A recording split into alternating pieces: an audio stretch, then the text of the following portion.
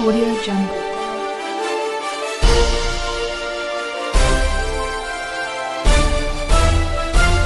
Audio Jungle.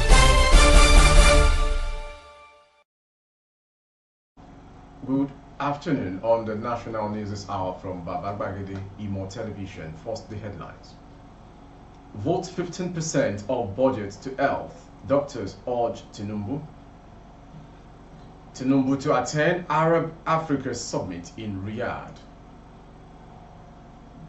Falana tells Akpabio others ex-governors to emulate Daniel Dankwambo IGP redeploys Imo Police Commissioner for neutrality's sake. And on sport, Gift Orban shuts down critics with sensational goal for KA agents in important away victory. I am Morire Rabila news in detail. The Nigerian Association of Resident Doctors has urged President Bola Tinubu to allocate at least 15% of the 2024 annual budget to the health sector.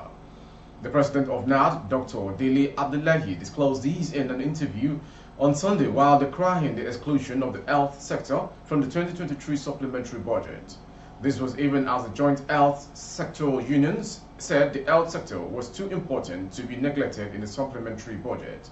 NARD and JOHESU said it was unfortunate that the health sector was excluded from the supplementary budget despite its poor state. The National Assembly last Monday approved 2.18 million naira, trillion naira, beg your pardon, supplementary budget for the 2023 fiscal year. The FG said the supplementary budget was to fund urgent issues, including defense and security, as well as the provision of welfare packages for workers and poor Nigerians to cushion the biting effect of petrol subsidy removal. While decrying the exclusion of the health sector from supplementary budgets, the NARD president said, it is sad and unfortunate that the health sector was not included in the supplementary budget. The health sector is in shambles and a lot of things need to be done about the sector, but it was considered in the budget if need be. President Bola Tinubu will travel to Riyadh, the Kingdom of Saudi Arabia, over the next few days in what has been termed as an aggressive push to promote Nigeria and attract foreign direct investment. Presidential spokesperson Chief Ajuri Ngelale, who briefed the State House correspondent at the Presidential Villa Abuja, said the president will be attending the Saudi Africa Summit and the Arab African Summit, which are scheduled to hold on the 10th and 11th November 2023, respectively. According to the presidential spokesman, the president in Saudi Arabia would discuss several issues of mutual concern with respect to economic ties between the region and with respect to the issues of counterterrorism, the environment and agriculture. Ngelale said Tinubu, in his capacity as the chairman of the Authority of Heads of Government of the Economic Community of West African States, ECOWAS, will be taking part in the summit ensuring that he is at the forefront of advocating for deepening the partnership of the two countries. Ngelale said other areas for discussion will be in terms of accelerating the level of trade and investment between the Kingdom of Saudi Arabia and the African continent. Human rights lawyer Femi Falana San has urged the Senate President, Senator Godswill Akpabio, and other former governors in the executive and legislature to emulate the example of Senator Daniel and Dankwambo by rejecting the payment of illegal pension forthwith. Falana, who is the chairman of Alliance on Surviving COVID-19 and Beyond, made the call in a statement on Sunday. The senior lawyer recalled that in compliance with court judgment, Senators Gbenga Daniel and Ibrahim Hassan Kombo have requested governors of Ogun and Gombe State, respectively, to stop paying them the scandalous pension. He commended Daniel and Kombo, saying that their action is highly commendable at a time when not less than 20 former governors in the executive and legislative branches of government are receiving double salaries. According to Falana, in the landmark judgment delivered on November 26, 2019, Justice Oluremi Oguntoyinbo, now retired, declared the payment of the pension illegal and unconstitutional.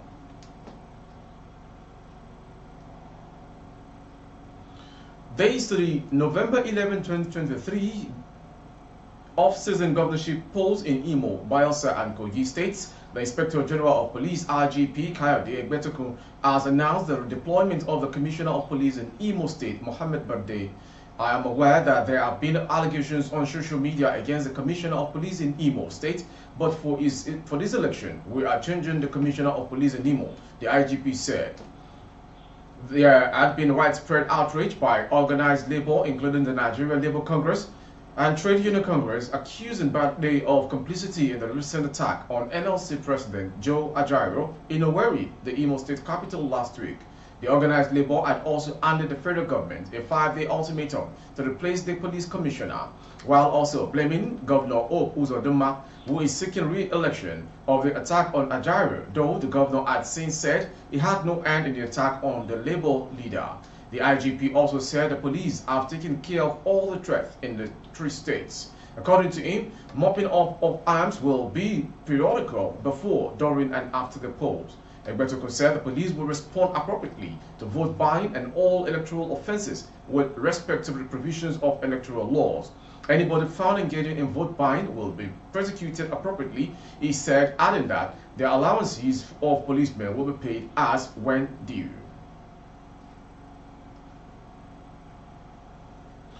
Troops of Operation Safe Haven have successfully uncovered a dis and dismantled an illegal weapon manufacturing factory in Vom, Jos South local government area of Plateau State.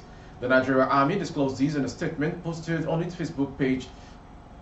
The recovered items include six AK-47 rifles, four submachine guns, 11 AK rifle bodies, a pistol, and seven AK-47 brigade blocks. Others include AK-47 rifles magazines, 210 recoil springs for AK-47 rifles, 7 rifle bolts, and 8 rifles muzzles, 9 piston assemblies, as well as 5 cartridge housings. Also recovered were one drilling machine set and a hand filing machine. In addition to the seizure of the weapons and weapon fabricating equipment, two individuals directly involved in the weapon proliferation and marketing process, Michael Dong, 33 years, and Yusuf Pam, 43 years, were both apprehended according to the army.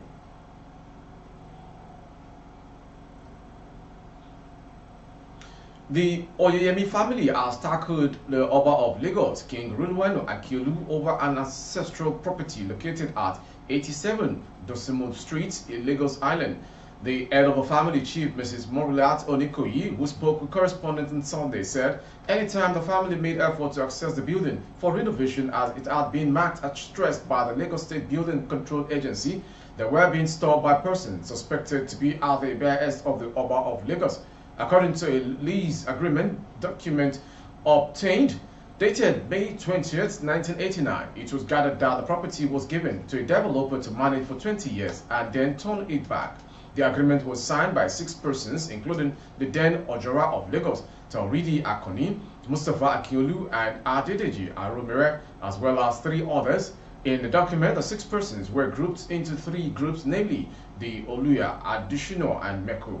Meanwhile, over three decades later, upon which the 20 years has expired, the Oyemi family, who are also of the Aromire chieftaincy family of Lagos, said only the Oyemis had title document of the property, which is now a two-story building.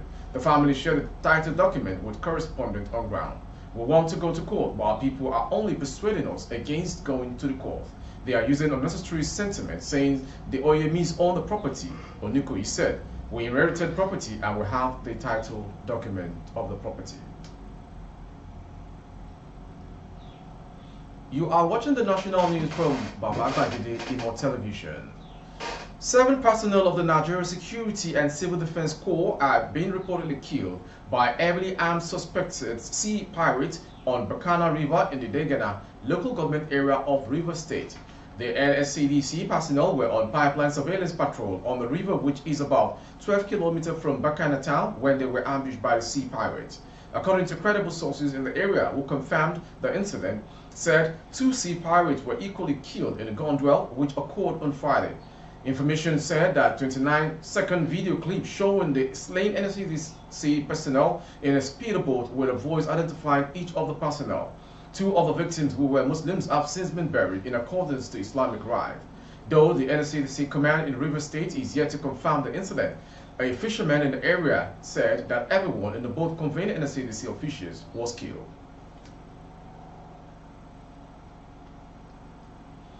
Similarly, The Taraba State Commissioner for Special Duties and Social Development, Savior Noku, has said that at least 20 bodies have been recovered from the both accident that occurred along the Mayo Reno Karim Lamido waterway in River Benue on October 28. Noku disclosed these on Saturday during a condolence visit to the families of victims of the unfortunate incident in Binari community of the Karim Lamido local government area of the state. The State Deputy Governor, Al-Adi Aminu Al-Kali, while condoling the families of the victims and the people of the community, expressed sadness over the incident and announced a government's ban on night journeys on waterways across the state to forestall a reoccurrence.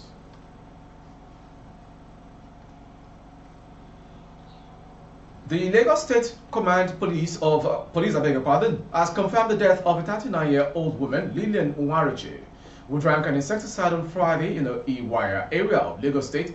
She was said to have been frustrated with having an illness. Onwarache was reported to have been suffering from a protracted illness and had been seeking a cure in a church in Iwaya, but became frustrated by the condition and drank a full bottle of insecticide on November 3, 2023. She was alleged to have tried to jump into a canal after drinking the insecticide, but was prevented by passers-by and was rushed to a nearby hospital where a doctor confirmed her dead. The police public relations officer of Lagos State, Benjamin Hundeyin, said three passports belonging to the deceased were found in her bag alongside her Samsung phone. She had been having a protected illness and visited the church for prayers. But while in the frustrating condition, she drank a full bottle of a popular brand of insecticide and was making frantic effort to jump into the canal. And lastly, on national news is a sports story. Nigerian forward Gift Orban has made a triumphant return to goal scoring form for his club, KA Agents, in the Belgian league. Orban, who had been facing intense criticism and criticism following a 10-match goal draw for Gent, found redemption by netting a remarkable goal in a 3-1 victory over Sporting Charleroi. The 21-year-old came off the bench to seal the win on Sunday night. Amid doubts about his place in the Giants starting lineup, Orban had already broken his goalless streak with a goal in the Conference League. However, it was his performance against Charleroi that truly silenced his critics. Orban's crucial strike came just 10 minutes after he was substituted in the 80th minute. He expertly finished his right foot from the right side, finding the bottom left corner of the net. In addition to Orban's heroics, Tariq opened the scoring in the first half and Julien De Sart doubled the advantage in the 59th minute before Orban sealed the deal in added time. With the goals, the Super Eagles invitee has now tallied three goals this season for Gent in the Jupiler League, reminding everyone of his undeniable potential. Before we go on the national news, let's take a look on the headlines. Vote 15% budget to health, doctors urge Tinubu. Tinubu to attend Arab Africa Summit in Riyadh, Saudi Arabia. Falana tells Akpabio other ex-governors to emulate Daniel Leonkombo. IGP redeploys Imo Police Commissioner. Troops recover cache of arms at illegal weapon manufacturing factory in Plateau. On sport, we brought to you Gift Orban shuns down critics with sensational goal for club. For updates of our broadcast on YouTube, our handle is Baba Bagede Imo Television. Kindly subscribe and click on the notification bell. Select option all to access all of our broadcasts. On Facebook, Bagede Imo with Alawi Adebayo. Please like and follow the page. For advert placement of and services, coverage of events and function, please dial the phone number streaming on your screen. Thank you for watching. I am Mo Rabi Logawal. Audio Jungle.